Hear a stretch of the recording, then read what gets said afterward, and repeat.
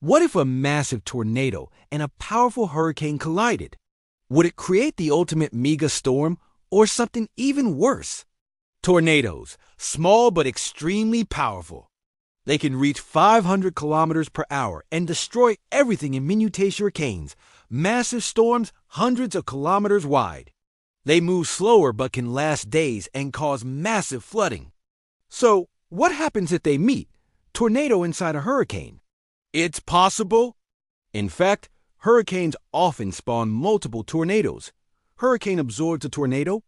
Maybe. The strong winds could weaken or break the tornado apart a superstorm? Not really. The two storms have different structures, so they wouldn't merge into one giant storm. But the destruction would still be catastrophic. So, would you rather face a hurricane or a tornado? Let me know in the comments, and don't forget to follow for more crazy science facts.